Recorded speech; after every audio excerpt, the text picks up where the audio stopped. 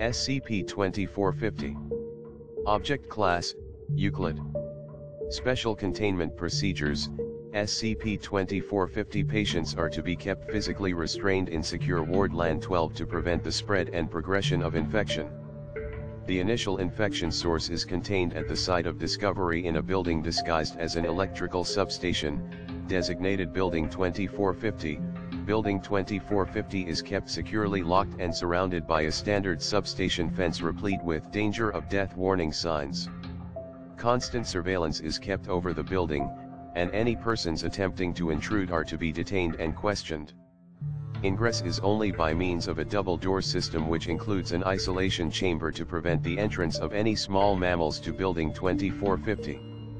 On no account must any mammals except approved test subjects be permitted to exit Building 2450, one member of Foundation personnel with dentistry training is to monitor all dentistry journals and news sources for cases that may indicate an SCP-2450 outbreak, TTT, description, SCP-2450 is an infectious disease that causes severe hyperdontia in unusual areas of the body. The initial infection source is the area contained by Building 2450, a former male bathroom in a company service station located on the M motorway in United Kingdom. The vector via which this area infects is unknown, level V suits have proven ineffective in preventing infection. The disease may affect a large number of mammalian species, for a full list of all susceptible mammals discovered so far, see document 2450 species, including rodents, dogs, and humans, approximately 23% of subjects exposed to the area contract SCP-2450. Infection may also be passed to new hosts through bites which draw blood, with an infection probability of 12%. Initial stage infection results in the patient presenting hyperdontia, the eruption of extra teeth, in various body orifices. The first orifice to be affected is usually the mouth, with teeth erupting from gums, palate, and frenulum, but once the disease has progressed, all bodily openings will be affected. The size of teeth grown varies but tends to be proportional to the size of the opening. SCP-2450 teeth will grow at a rate roughly 12 times that of natural teeth, taking typically between 3 weeks and 9 months for a tooth to grow from germ to full root completion, depending on size. Teeth will grow in rows further and further back into the orifice as the disease progresses, Latter stage SCP-2450 infection will begin to occur once all natural bodily orifices have grown at least one full row of teeth. In this occasion, areas of the body which are not orifices but form a semi-closed shape, such the eyes or the interspaces between toes, will also begin to erupt teeth. In addition, any apertures formed in the body by external trauma, such as cuts to the skin, will develop SCP-2450 teeth, calcium and other minerals required to grow the teeth are taken from the body's natural stores, and, consequently, SCP-2450 infection can result in osteoporosis and hypocalcemia. Patients may be kept alive despite this by administering calcium and mineral supplements, and will keep producing teeth indefinitely, the tooth growing process has been described by patients as extremely painful, and similar to the teething pains experienced by children and young adults during the development of normal teeth. Patients have described a strong desire to mitigate this sensation by biting or grinding affected teeth, and in the case of teeth formed in areas without the appropriate muscular or skeletal structure for biting, patients will rub or pound the teeth against solid objects. This action is to be discouraged in patients whose disease progression requires curtailment, as it will frequently lead to further skin lacerations and the creation of new teeth.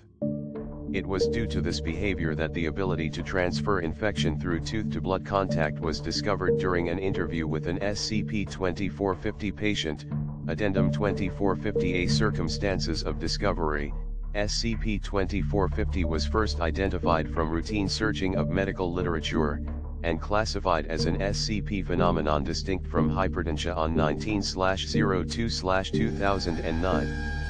Information suppression policy was applied successfully, and the pattern of outbreaks was used to trace the source to the service station. Thereafter, quarantining and careful experimentation revealed the male bathroom in Wing B, in use with no known anomalous effects since the service station's opening in 1983, as the initial source of infection. SCP-2450-1, see Addendum 2450-C, was discovered lodged behind a cistern during the dismantling of facility equipment, Addendum 2450-B Events of 15-07-2008, Interviews with cleaning and security staff, and review of security footage has tentatively identified early morning 15-07-2008 as the moment at which the bathroom became the source of SCP-2450 infection, security footage log, 03.17 Three men enter the service station. All three wear black hooded tops with hoods up. 1. Designated POI 2450 Alpha, carries a large empty-looking backpack, and another, designated POI 2450 Beta, holds a green implement, likely SCP-2450-1, which he passes from hand to hand frequently. The third man is designated POI 2450 Gamma, 03.19 The men halt outside the bathroom in Wing B and engage in discussion, 03.22 The men enter the bathroom, the last looking around before he closes the door, period of unremarkable activity omitted, 05.592450 Alpha and 2450 Beta exit the bathroom.